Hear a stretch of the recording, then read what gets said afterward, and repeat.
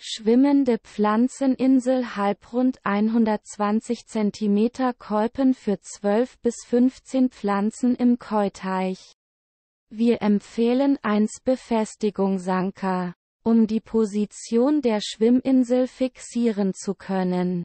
5 Gründe, die für den Kauf und den Einsatz von Pflanzeninseln im Teich sprechen. Sie helfen beim Ableichen der Koi. Durch sie entstehen schattenreiche Plätze unter Wasser für die Koi. Die Koi nutzen sie als eine Art Spielplatz und sie sind ein optisches Highlight im Teich. Preis etwa 74 Euro und 99 Cent.